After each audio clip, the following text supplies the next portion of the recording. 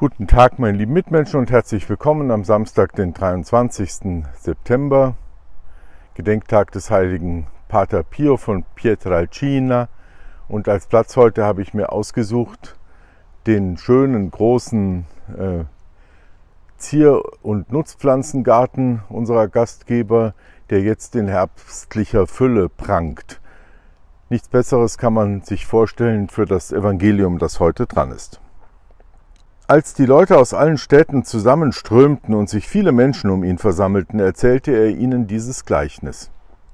Ein Sämann ging aufs Feld, um seinen Samen auszusäen. Als er säte, fiel ein Teil der Körner auf den Weg, sie wurden zertreten, und die Vögel des Himmels fraßen sie. Ein anderer Teil fiel auf Felsen, und als die Saat aufging, verdorrte sie, weil es ihr an Feuchtigkeit fehlte. Wieder ein anderer Teil fiel mitten in die Dornen, und die Dornen wuchsen zusammen mit der Saat hoch und erstickten sie. Ein anderer Teil schließlich fiel auf guten Boden, ging auf und brachte hundertfach Frucht. Als Jesus das gesagt hatte, rief er, wer Ohren zum Hören hat, der höre. Seine Jünger fragten ihn, was das Gleichnis bedeutet, da sagte er, euch ist es gegeben, die Geheimnisse des Reiches Gottes zu erkennen. Zu den anderen Menschen aber wird nur in Gleichnissen geredet, denn sie sollen sehen und doch nicht sehen, hören und doch nicht verstehen. Das ist der Sinn des Gleichnisses. Der Samen ist das Wort Gottes. Auf den Weg ist der Samen bei denen gefallen, die das Wort zwar hören, denen, denen es aber der Teufel dann aus dem Herzen reißt, damit sie nicht glauben und nicht gerettet werden. Auf den Felsen ist der Samen bei denen gefallen, die das Wort freudig aufnehmen, wenn sie es hören, aber sie haben keine Wurzeln. Eine Zeit lang glauben sie, doch in der Zeit der Prüfung werden sie abtrünnig.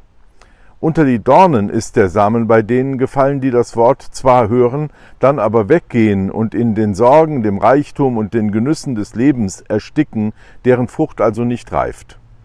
Auf gutem Boden ist der Samen bei denen gefallen, die das Wort mit gutem und aufrichtigem Herzen hören, daran festhalten und durch ihre Ausdauer Frucht bringen.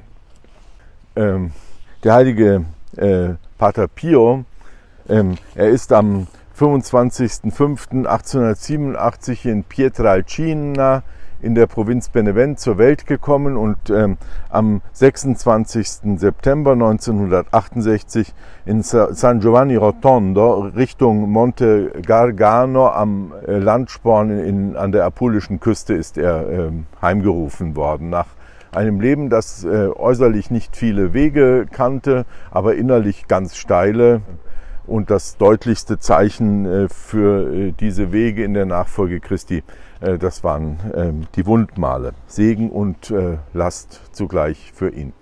Millionen sind an diesen Ort schon gekommen, San Giovanni Rotondo, und kommen immer noch. Und ähm, in Italien kein Taxi, in dem man fährt und keine Kneipe, in die man kommt, wo nicht das Bild dieses wahrhaft volkstümlichen Heiligen hängt.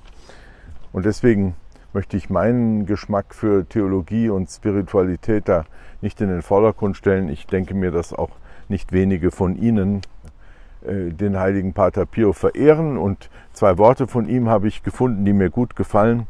Der Gott der Christen ist ein Gott der Umwandlung. Ihr werft euren Schmerz in seinen Schoß und er tauscht ihn aus gegen Frieden. Ihr werft eure Verzweiflung hinein und siehe, wie stattdessen Hoffnung aufsteigt.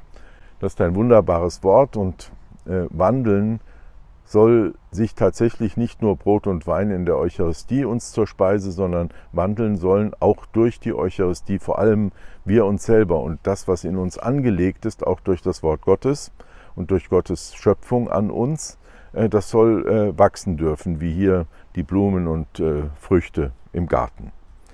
Noch ein Wort von ihm, wer zu lieben beginnt, muss auch bereit sein zu leiden. Er hat das reichlich wahrgemacht und nicht wenige von Ihnen, von uns tun das auch. Dieses Leiden ist ähm, nicht sinnlos und gehört nicht verdammt und weggewollt, äh, sondern äh, wenn wir es annehmen können, hilft es uns, äh, uns Jesus zuzugesellen, der gelitten hat, aber treu geblieben ist und vor allem treu äh, seiner Liebe zu uns, ähm, von der er nicht abgerückt ist, als er merkte, dass viele von uns sie gar nicht wollen und sie zurückstoßen. Wer zu lieben beginnt, muss bereit sein zu leiden. Gott segne und behüte sie alle.